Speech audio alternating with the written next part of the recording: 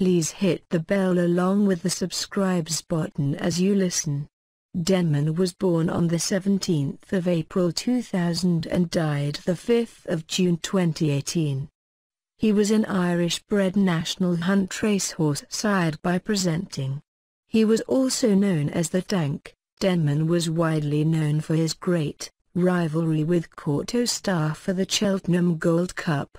This large horse with a front-running style won the Cheltenham Gold Cup in 2008. Denman was a very dark-coated chestnut gelding, bred in County Cork by Colman O'Flynn, who also bred his Grade 1 winning full brother, Silverburn. He was sent to the 2004 Tattersalls Ireland Derby sale as a four-year-old but this proved fruitless when one of the vets present said that the young store could benefit from a Hobday operation on his windpipe. Denman was put in training with former jockey Adrian Maguire. Sent to the Duhallow Point appointed Liscaroll and ridden by leading amateur Colman Sweeney. He was sent off 7 fourths favourite to beat 16 rivals, which he did by 12 lengths. Tom O'Mahony, scout for Paul Barber trainer Paul Nicholls landlord and one of his main owners, was impressed, and a deal was completed to sell Denman to Paul Barber and gambler Harry Findlay and send him to Nicholls stables in Somerset. On the 20th of February 2011, Nicholls reported that Denman had had a wind operation shortly after the Hennessy.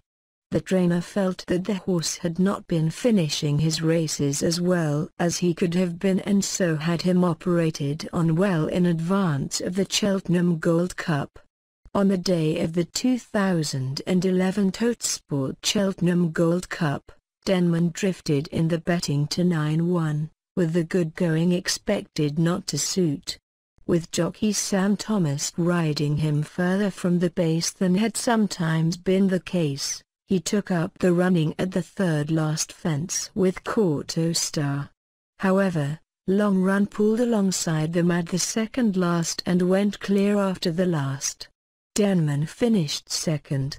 In April, he went back to Aintree for another go at the Totesport Bowl. Ruby Walsh chose not to be hard on the horse after it became apparent he wouldn't win. He finished fifth of the six runners behind the Grey Nacarat. This turned out to be his last run. Formerly known as the Aon Chase, the Betfair Denman Chase was run at Newbury Racecourse on Betfair Free Friday in February 2012.